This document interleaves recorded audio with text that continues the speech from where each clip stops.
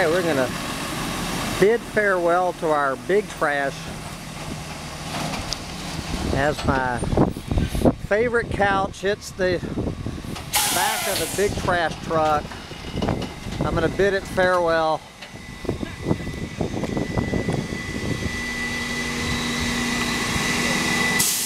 So you crush big ass things like this? This is, goes in the crusher? All right. It's big trash day at Austin, Texas. And uh, here goes another couch and, and that thing will bite you. You got gloves on. There goes a prickly pear cactus. Inside of the prickly pear and the blue agave. Good Lord.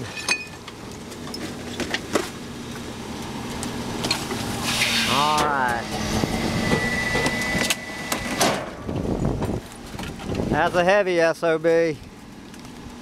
Oops, I guess they're gonna do a... And there we go. I don't know how many decades old this couch is. It served its useful purpose on the planet. Many an ass, many a couch potato has vegetated, including my own. All right. There it goes. What's the biggest thing you've thrown in here today? Yeah. All right, we're gonna look inside here. What's the biggest thing you've thrown in? Oh, man. Throwing all kinds of stuff in there. Oh, there's the pusher. Yeah. Good Lord, you're not even Packs it in and stuff. you're not even half full yet, brother. You can climb up here too. I'm not gonna. Right here.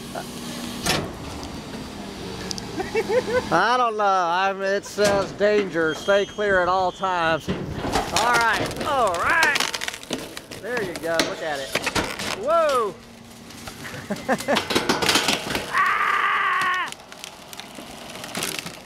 So what landfill does this go to? TDS. TDS. 16, what is that, 1626. Okay. Yeah, out there in uh, 16? You Creedmoor. Oh yeah.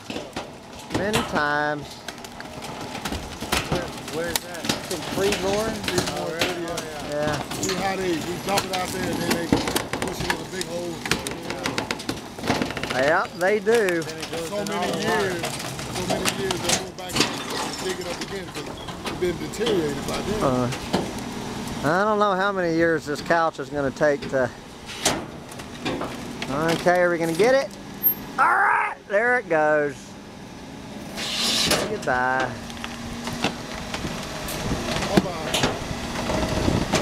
Have fun, guys.